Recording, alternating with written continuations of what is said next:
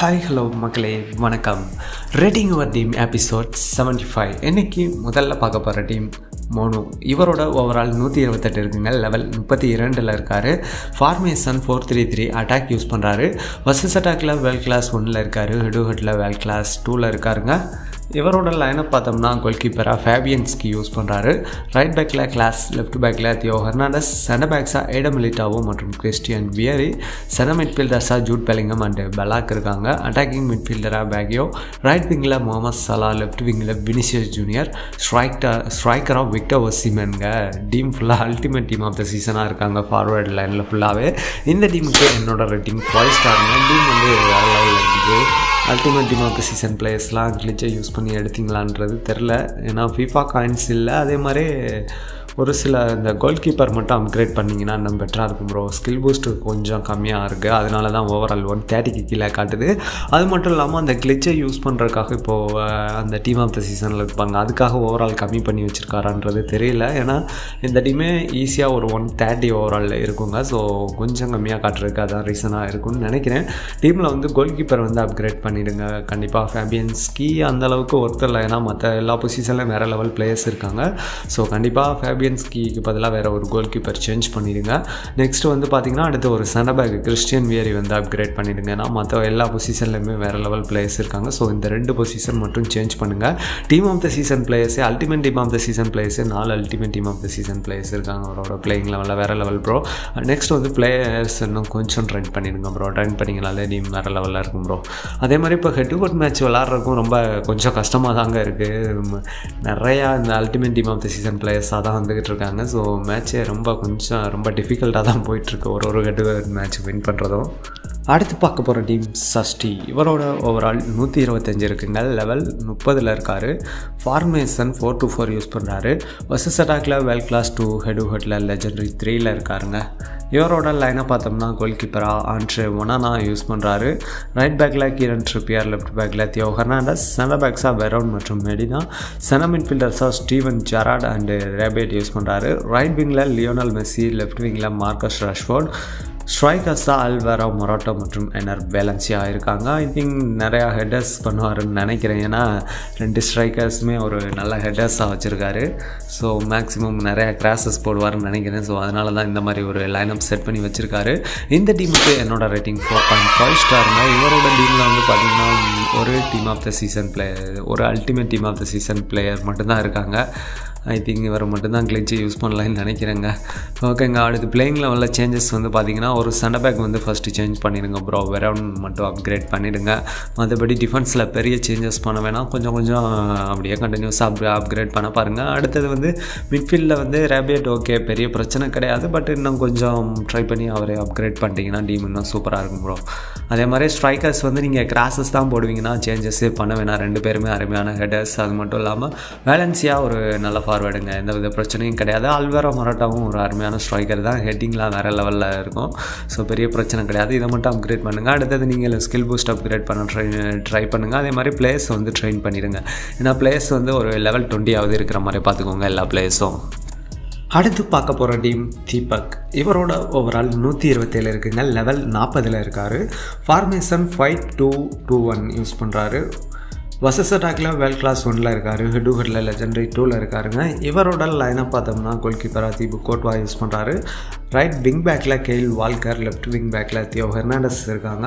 Centre பேக்ஸாக Virgil van Dijk Nemanja Vidic மற்றும் Adam எலிட்டாவோ சென மிட்ஃபீல்டர்ஸாக Jude Bellingham and Ruud Gullit right விங்கில் Raphinha இருக்கார் left விங்கில் Marcus Rashford ஸ்ட்ரைக்கராக Erling ஹேலண்டுங்க இந்த டீமுக்கு என்னோட rating four point seven five ஸ்டாருங்க team வந்து வேறு லெவலில் இருக்குது ப்ரோ பெருசாக இது எந்த வித பெரிய சேஞ்சஸும் பண்ண வேணாம். விங் பேக்கில் வந்து ஒரு சேஞ்ச் பண்ணிங்கன்னா பெட்டராக இருக்கும். கிளாஸ் டீம் ஆஃப் த சீசனில் இருக்க நூற்றி பதினொன்று ஓவரால் உள்ள கிளாஸ் கொண்டு வந்தீங்கன்னா இந்த டீமுக்கு வேறு லெவலில் இருக்கும்.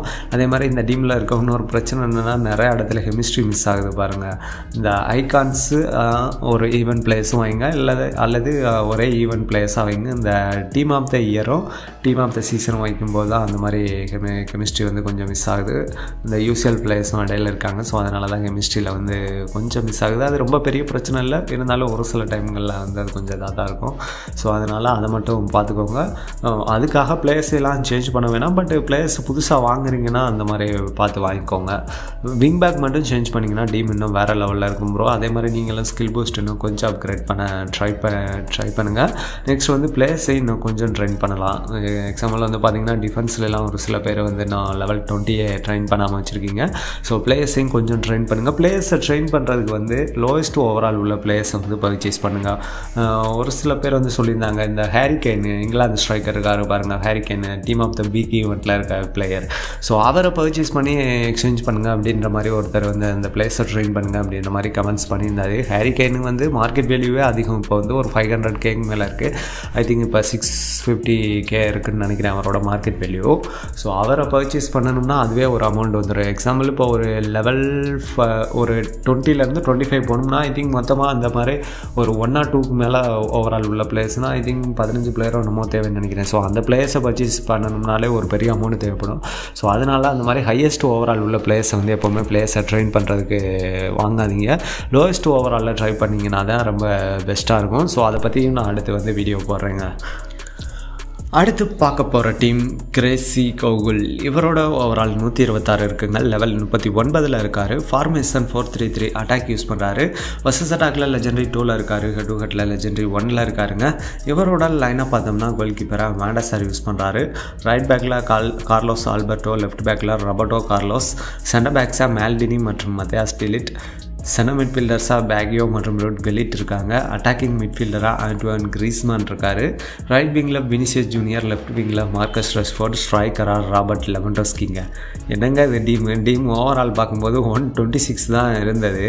பட் உள்ளே வந்து பார்த்தோம்னா எல்லாம் பயங்கரமான பிளேயர்ஸாக வெறும் ultimate team of the season பிளேயர்ஸாக வச்சுருக்காரு.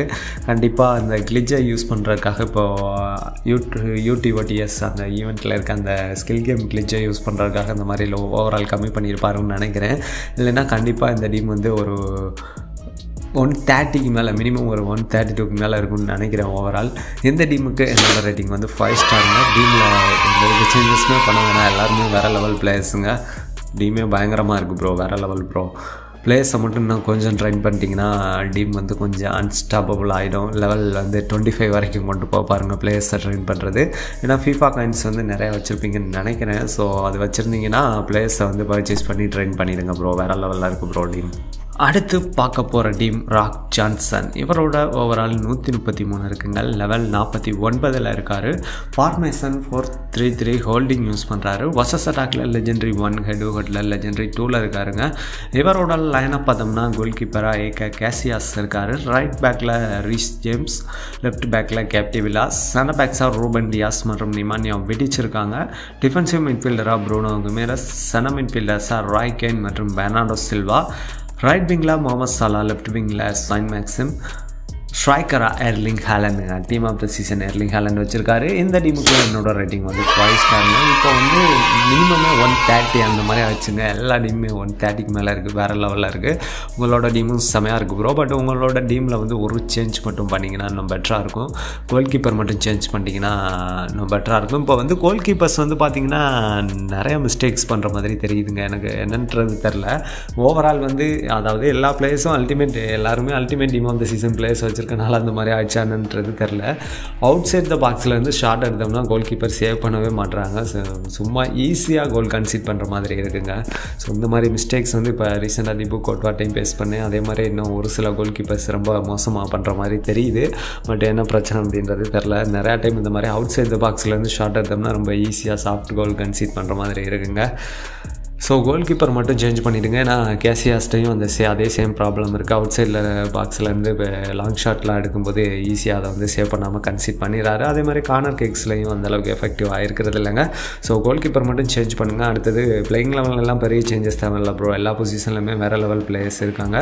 லெஃப்ட் பேக்கில் வந்து அவரை வந்து ஒரு செல் பண்ணுற மாதிரி இருந்தது. அவர் அன்ட்ரேடபிள் பிளேயர் இல்லைன்னா அப்படியே வச்சுக்கோங்க. இல்லைனா அவரை செல் பண்ணிட்டு வேறு ஒரு நல்ல லெஃப்ட் பேக் வந்து அவரோட இன்னும் பெட்டராக வாங்கலாம்.